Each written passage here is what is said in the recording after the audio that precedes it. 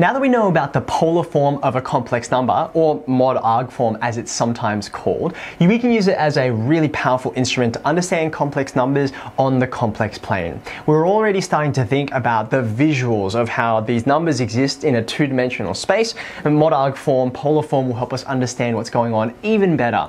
Uh, complex numbers, and particularly what happens when complex numbers interact with each other, like when you multiply or divide them. So we're going to have a look at these questions from the assigned exercise, but I do want to point out on this very first question, uh, it will look a little bit different to the question that was actually assigned to you because I've made some slight modifications to this question, which will allow us to not just work out what the answers are, but also dig into what the answers mean. So I'm not just going to go ahead and calculate the solutions here. I'm also going to try and unpack like some generalizations of what these principles, you know, z, z bar, minus z, uh, all those kinds of things mean in mod arg form, not just for this particular z, this particular complex number, but for complex numbers in general. So let's have a look at this.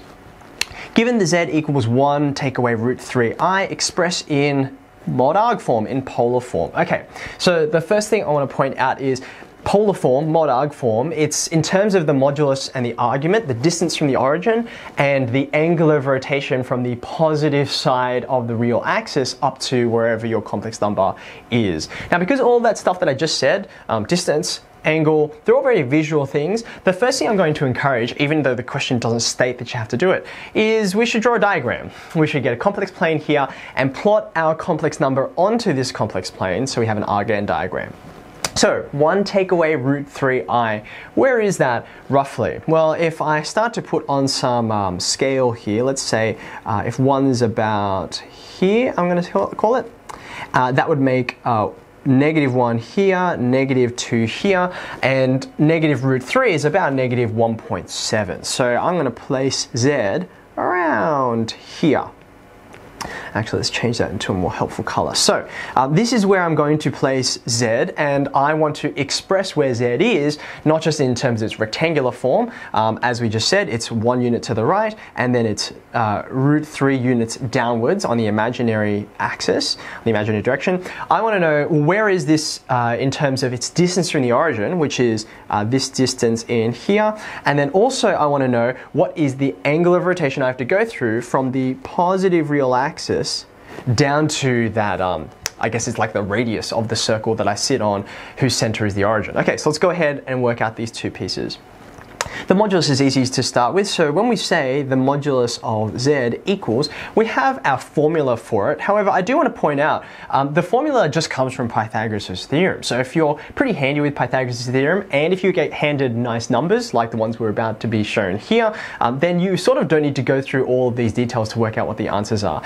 But let's go ahead and just make sure we have the right things down.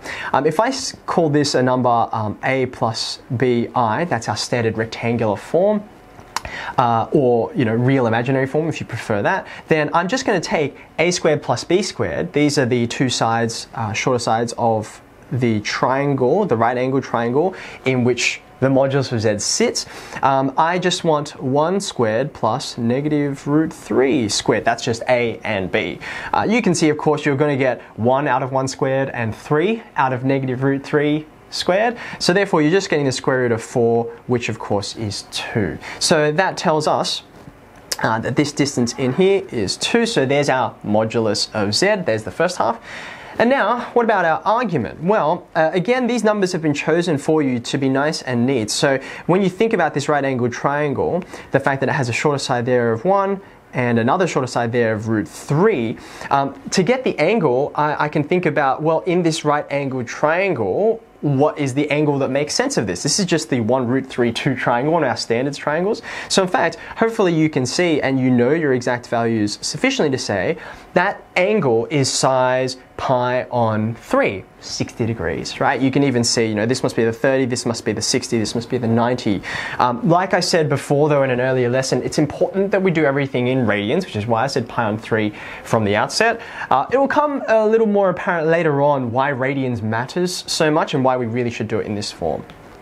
Now before I go ahead and write down pi on 3, I notice that the direction of the angle matters. So whether I go uh, clockwise or anti-clockwise is important when we're describing where the number is. If I went pi on 3 radians, anti-clockwise from the real axis, uh, the positive real axis, I'd be going up in this direction, right? I wouldn't be going down to where z actually is. So the way we would say this is to say that arg z is going to be negative pi on 3, and that's the direction it's gone in.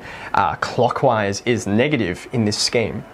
So therefore, I've got my modulus, got my argument. I can say, say therefore that z equals uh, 2 outside of cos negative pi on 3 plus i sine negative pi on 3. So there it is. That right there, that is z in mod arg form, and I'm going to use that as the basis for trying to work out all the rest of my numbers. Okay, so let's now have a look. That was part A.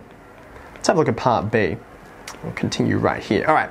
Now, I want uh, z bar. This is the conjugate of z. Now, before I start thinking about, you know, calculating all my different things, you know, my modulus, my argument, all that, um, I think that the visual setup that we had putting these things onto the complex plane is really going to help us, right? So what I'm going to do is uh, I'm only going to copy this because it's going to get real busy real fast when I start to put B, C, D, E, and F all in the same diagram. So this is just for the sake of clarity. So I'm going to duplicate this down here.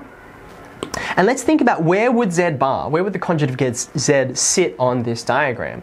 Well, very simply, I can, I can just state by definition that z bar equals not 1 minus root 3i, but 1 plus root 3i. So it's just taking that imaginary part and flipping the sign to be its opposite.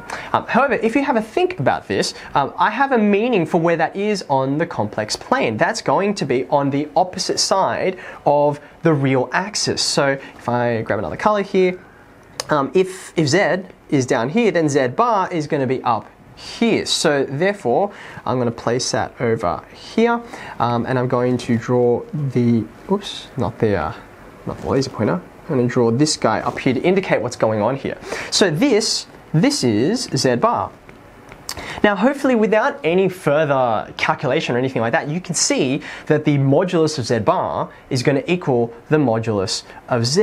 I'll say that like so. Modulus of z bar equals the modulus of z. And that's because that reflection upwards um, preserves the size of what's going on, right? So whereas I went to uh, down in that direction before, now I'm going to up in this direction. So I can say those moduli, that's the plural, are the same. But when it comes to the angle, something is different. Um, I have the same size of angle, we would say the same magnitude, but it's going in the opposite direction. So instead of negative pi on 3 going this way, I'm going to have positive pi on 3 going this way. Anti-clockwise is positive on the complex plane. So what I can say is that the argument of z bar is going to be um, the opposite, negative, of the argument of z right? Which in this case, we went from uh, negative, negative pi on 3 is going to become pi on 3. So therefore, I can say z bar equals, let's write it in r cos theta plus i sine theta form, that's mod arg form. Uh, you're going to get the same 2, same modulus as before. Uh, and then I'm going to write in cos of pi on 3 plus i sine pi on 3. Okay, so far so good. So there was the original number, there was the modulus. Now let's have a look at part C. Uh, negative z, negative z. Okay, so I am, just like before, I'm going to, uh, actually I need the whole diagram, don't I? Let's grab this whole thing up here. Copy this whole thing with the original z on it.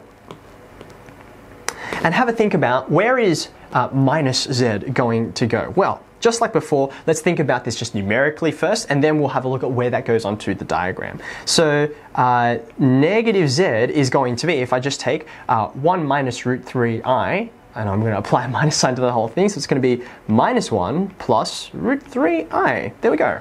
So where's that going to go? Well, um, our original number was down here in the fourth quadrant, but this number here, you're going to go to the left, so I'm going that way, and then I'm going to go up root 3i. So you can see um, I'm on the opposite side rotationally, right? So if I put my uh, minus z up here, you can see what's going on here. I've just literally uh, rotated around, or if you want to think about it that way, you've reflected across, but what you've reflected across, you have to be quite careful with actually. Um, you reflected across this line here. Reflection requires a line, not just a point. So it's tempting to say the origin, but you have to be very sneaky with that, right? So where is this guy in terms of my argument and my modulus? Well, just like before, starting to get sick of this, right? Um, the modulus is the same. The modulus of negative z equals the modulus of z. And hopefully, as soon as you write that, you're like, ah, of course that's true, because that, this is part of why we have the absolute value notation that we've used for the modulus. Doesn't matter if you're facing in that direction or that direction, uh, you know, a direction or its opposite. That doesn't change the difference, which is just like in real numbers. The absolute value of 5 is the same as the absolute value of negative 5. So um, that's the same. My, my r in r cos theta plus i sine theta is not going to change. But then you have to think about, well, what about my argument? Okay. Now, in this case here, the argument, just like in all the other cases, is going to come from the positive side of the real axis and then rotate anti-clockwise. So it's going to look like this.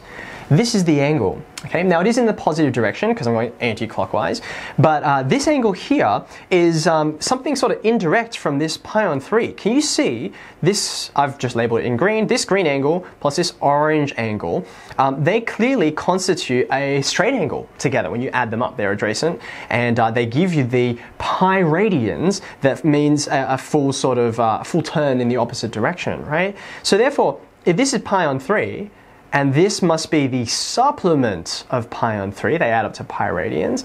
Therefore, I can say uh, the argument of z plus the argument of negative z, they should equal pi. So another way of saying that is the argument that I actually want, the argument of negative z, um, is equal to pi take away arg z and in this case, ArgZ, as we um, sort of pointed out, it's going to be the, the size of it. I should say it's kind of like the absolute value of these guys, right? Because you've got to watch out for the direction that these all go in. Um, you don't want to be adding and subtracting negatives.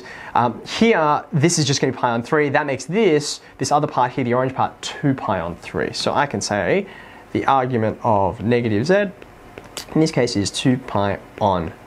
So putting these things together, uh, stay with this color, this guy here, um, and the fact that I already know the modulus from before, it was 2, um, I can say, therefore, I can write negative z in mod arg form as 2 outside of cos 2 pi on 3 plus i sine 2 pi on 3. Okay? So um, a way of uh, saying saying this as well is that we could have put this, we could have put the uh, you know the the pi's inside because that's what we're really calculating. It's pi um, and the difference from uh, whatever original angle, whatever original argument you started with.